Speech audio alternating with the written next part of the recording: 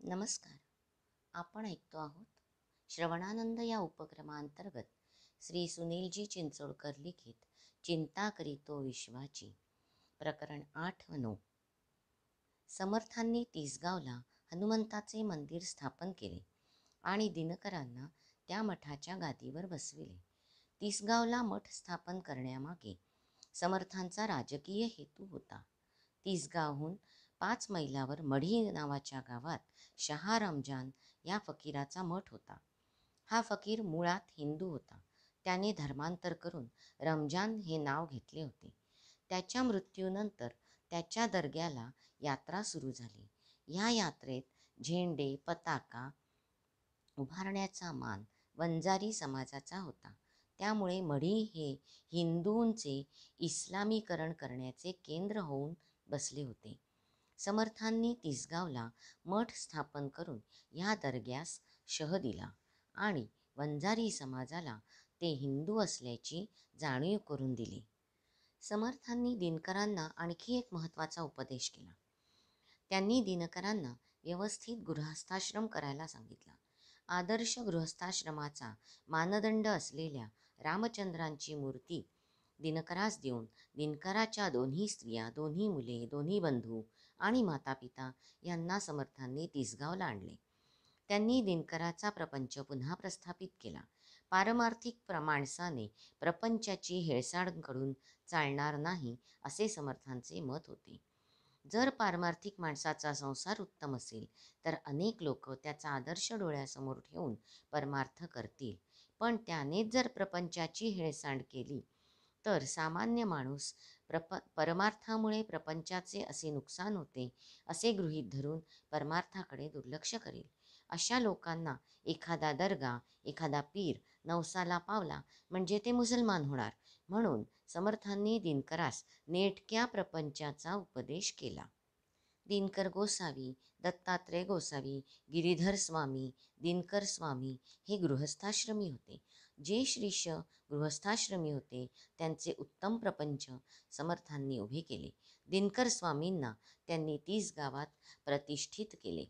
समर्थांच्या निर्माणानंतर बारा वर्षांनी सोळाशे चौऱ्याण्णव साली दिनकरांनी स्वानुभव दिनकर हा ग्रंथ लिहिला. आध्यात्मिकदृष्ट्या हा ग्रंथ मोठ्या उच्ची उंचीचा असून साधकांना साधनेतील उच्च अवस्थांचे मार्गदर्शन या ग्रंथात मिळू शकते. दिनकर स्वामींचा मुलगा रामचंद्र हा देखील मोठा व्यासंगी होता. त्याने अध्यात्मशास्त्रावर एक सुंदर ग्रंथ लिहिला आहे. समर्थ संप्रदायाचे हे एक व्यवच्छेदक लक्षण आहे. एवढी मोठी लेखन परंपरा अन्य कोणत्याही संप्रदायात पाहायला मिळणार नाही. दिवाकर गोसावींचा मुलगा भैरव गोसावी इसवी सन सतराशे तेवीस साली शिवथरगळीत बसून ज्ञानेश्वर महाराजांच्या अमृतानुभव ह्या ग्रंथाची नक्कल केली. आजही समर्थ वाग्देवता मंदिरात ह्याची अस्सल प्रत पाहायला मिळते.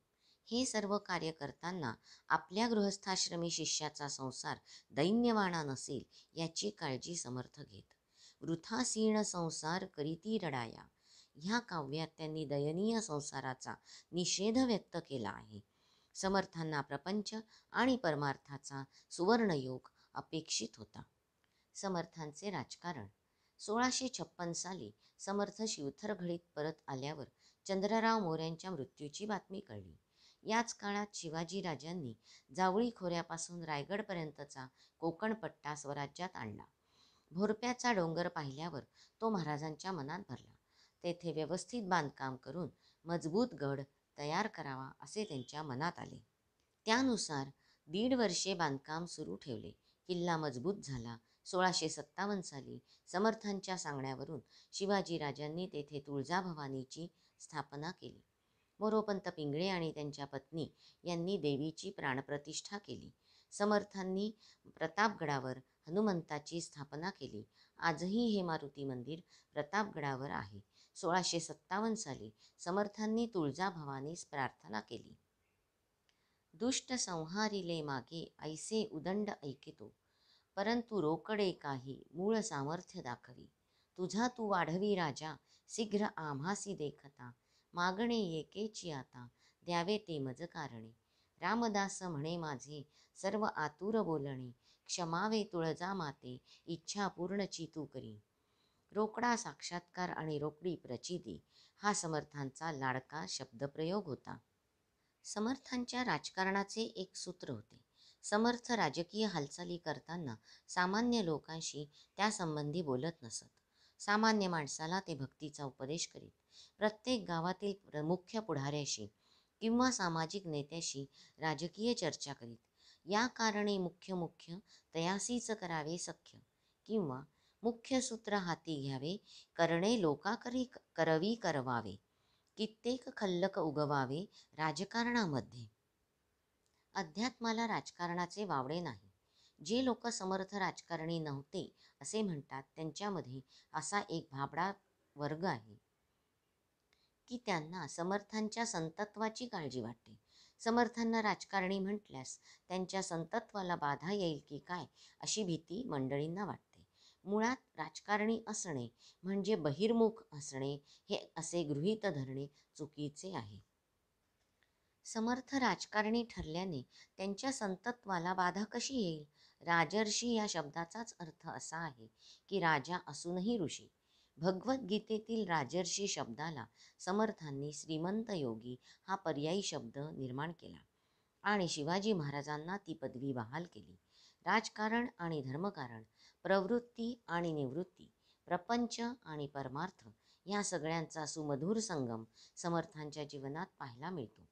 समर्थांचे मोठेपण कळण्याइतका आपला समाज अजून विकसित झाला नाही. म्हणून सकल संथगाथेतून समर्थांचे नाव वगळण्यात आले. कारण काय? तर समर्थ राजकारणी होते. समर्थांनी संप्रदायात जरी राजकारणाचा अंतर्भाव केला असला तरी चतुश्रुत्रीत हरिकथा निरूपणाला प्राधान्य आहे. मुख्य हरिकथा निरूपण असे ते म्हणतात. यातच त्यांचे संतत्व सामावले आहे. परंतु भारतभर भ्रमण करत असताना त्यांच्या लक्षात आले नुसत्या भक्तिमार्गाच्या प्रचाराने देशस्थिती बदलणार नाही. या जगात दुबळ्या लोकांचे तत्वज्ञान कुणीही ऐकून घेत नाही. धर्माला राजाश्रय मिळाला तरच धर्म फोफावतो हे सत्य समर्थांनी स्वीकारले. शिवाजी महाराजांची राजवट नसती तर समर्थांचे मठ एवढे सुरक्षित राहिले नसते. ही वस्तुस्थिती नाकारता येणार नाही. धर्मयुक्त राजकारणाचे आद्यतम प्रवर्तक म्हणून समर्थांचा अभिमानपूर्वक उल्लेख करावा लागेल. राजकीय स्वातंत्र्य हे धर्मसंस्थापनाचे एक अविभाज्य अंग आहे. स्वातंत्र्यवीर सावरकर म्हणत असत धर्मांतर म्हणजे राष्ट्रांतर. म्हणून हिंदू धर्मात ज्ञानोत्तर कर्म सांगितले आहे. ज्ञानेश्वर महाराज म्हणतात देखे प्राप्तार्थ जाहले जे निष्कामता पावले. तयाही कर्तव्य असे उरले लोका लागी मार्गी अंधा सरीसा पुढे देखणाही चाले जैसा. अज्ञाना प्रगटावा धर्म तैसा आचरुनी. हाच विचार तुकाराम महाराजांनी आपण जेवूनी जेववी लोका संतर्पण करी तुका. या शब्दात सांगितले आहे. समर्थांच्या भाषेत सांगायचे झाल्यास? आपण यथेष्ट जेवणे उरले ते अन्न वाटणे परंतु वाया दवडणे हा धर्म नव्हे. तैसे ज्ञाने तृप्त व्हावे तेची ज्ञान जनास सांगावे. तरतेने बुडवणे द्यावे बुडतयासी. अशा ज्ञानी माणसाने फक्त पूजा अर्चा आणि ब्रह्मचिंतन केल्याने त्याची आत्मानंद स्थिती टिकून राहील आणि तो व्यवहारात पडल्यास त्याची अवस्था घसरेल. हा समजच चुकीचा आहे. उलट अशा माणसाने कर्म केले तर तो त्याने लिप्त होत नाही. हेच तर त्याला आत्मज्ञान झाल्याचे प्रमाण आहे. व्यवहार टाळला म्हणून आत्मस्थिती ढळली नाही हे ज्ञान कच्चे असल्याचे लक्षण आहे. भगवंत गीतेतील अठराव्या अध्यायात तर इथपर्यंत म्हणतात की अशा ज्ञानी माणसाने एखाद्याची हत्या केली तर तो हत्यारा ठरत नाही. हनुमंताने लंका जाळून हजारो माणसे मारली. तुकाराम महाराजांना त्या हनुमंताला शरण जाऊन भक्तीची वाट दाखवा असे ते म्हणतात.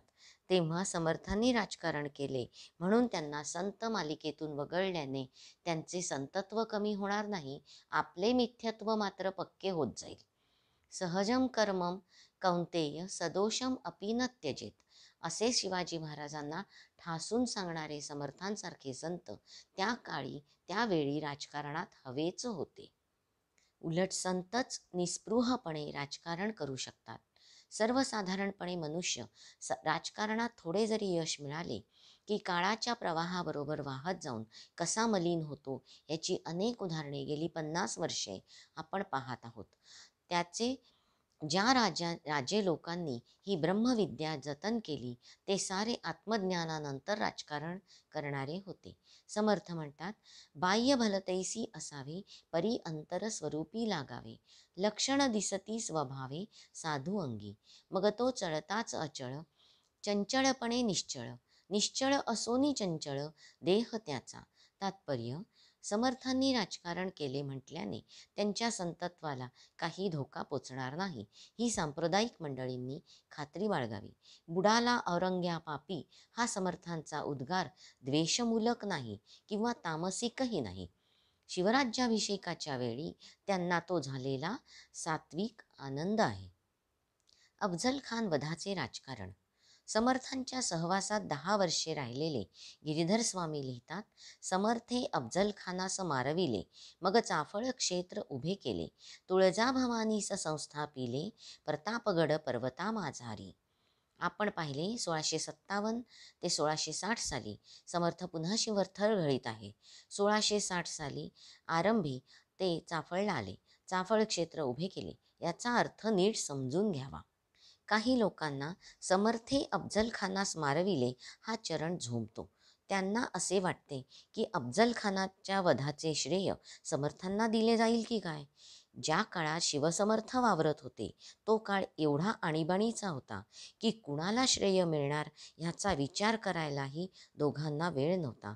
हा उद्योग विलासी साहित्यिकांनी खुर्चीवर आरामात बसून इतिहासाचे चिंतन करताना सुरू खरे तर अफजल खान वधाचे श्रेय सारे छत्रपतींचे आहे. पूर्वी म्हटल्याप्रमाणे खान हा भोसले घराण्याचा वैरी असल्याने शिवाजी महाराजांचा बंदोबस्त करण्यास तो चालून येणार. खान आला की शिवाजी राजांनी प्रतापगडावर जायचे. तेथून प्रथम वकिलामार्फत मंत्रयुद्ध खेळायचे आणि नंतर खानाला प्रतापगडावर बोलावून त्याचा काटा काढायचा ही शिवाजी महाराजांची योजना होती. ह्या मूळ संकल्पनेत समर्थांचा आधीपासून सहभाग असला पाहिजे. अफजल खान ज्या मार्गे वाईला आला त्या मार्गात समर्थांच्या मठांचे जाळे आहे. खुद्द वाईत समर्थांचा मठ आहे.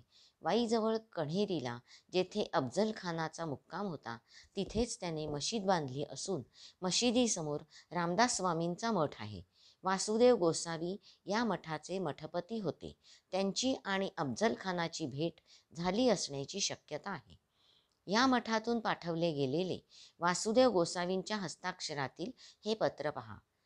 विवेके करावे कार्यसाधन पुढील भविष्यार्थी मन. चालू नये असन्मार्गी रघुवीर कृपाते प्रसंगी.